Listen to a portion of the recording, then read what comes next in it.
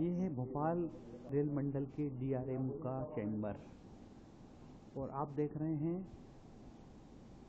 सुरक्षा व्यवस्था के लिए लगाए गए स्टेशनों के कैमरों के चित्र।